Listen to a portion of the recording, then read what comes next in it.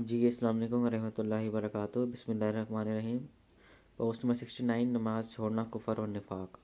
सूरत room, आयत number इकतीस। लोगों, अल्लाह की तरफ़ रजू करो और इसे डरते रहो और नमाज़ कायम रखो और मुशरकिन में से ना हो जाओ। और फिर एक और हदीस आती है सुन तिरमिजी में, हदीस number two six one nine. नबी करीम सल्लल्लाहु अलैहि वसल्लम ने फरमाया, बंदे और शिरक ये बंदे और कुफर के दरमियान फ़र्क करने वाली चीज़ नमाज़ का छोड़ देना है। यानी कि नमाज़ का छोड़ देना कुफर है। जैसे आपने ऊपर जी हदीस पढ़ी कि नमाज़ को तर्क कर देना मफहम यही है कि कुफर है। तो अभी नीचे एक और हदीस आती है सुन तिरमिजी में ही, टू सिक्स वन एट। नबी अकरम सल्लल्लाहु अलैहि वसल्लम ने फरमाया, कुफर और ईमान के दरमियान फ़र्क कर देने वाली चीज़ नमाज़ का तर्क करना है। फिर एक और हदीस आती है, ये इसी सेम यही सुनसाई में भी आती है, फोर सिक्स फोर।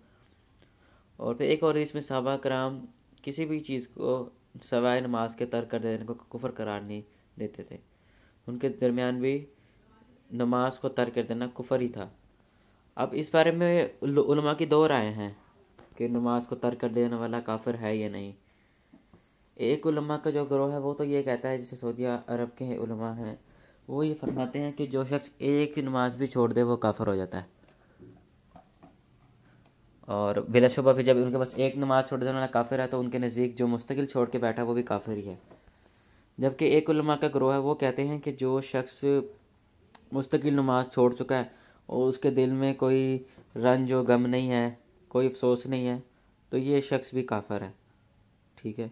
लेकिन ये दूसरा जो ग्रोह, वो कहता है कि एक शख्स जो इसके दिल में नदामत है, अफसोस है, वो कहता है कि उसको गुनाह को गुनाह मानता है, और कहता है कि मेरे लिए दुआ करो, मेरे लिए हिदायत की दुआ करो। तो ऐसा शख्स मुसलमान है। कभी जो पढ़ता है, कभी छोड़ देता है। लेकिन मुस्तकिल जो इसने तर्क की हुई है तो वो बिलाशुबा उसको लम्हा काफिर ही कहते हैं।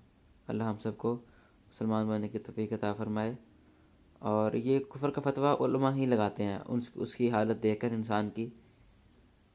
हमें सिर्फ़ इतना देर में रखना चाहिए कि ये कुफर है, और इसे खौफ दिलाना चाहिए लोगों को भाई इससे बचो, ये कुफर है, ठीक है? हमें इस तरह कहना चाहिए कि भाई ये अमल शिरक है, ये अमल कुफर है, इससे बचो। इससे बचना चाहिए कि तुम काफर हो, तुम मुशरक हो। ठीक है? तो इससे ये खुदा न खास वो शख्स काफिर, मुशरक ना हुआ तो फिर कहने वाला हो जाएगा। तो लेकिन ये कि अगर शिर को शिर कह रहा है, वो तो शिरक ही है ना? एक शख्स कह रहा है कि ये काम कुफर है, शिरक है तो इससे बचो। नमाज़ को तर्क मत करो। तो आप ये लोग इस इस तरह लोगों को बताएँ, उनके दिल में तकवा पैदा करें तो ये ही बेहतरीन तरीका है। बाकी जो कुफर का फतवा है, वो कराम ही उस शख्स की हालत देखकर उस पर लगाएँगे। अल्लाम वरहमल वर्का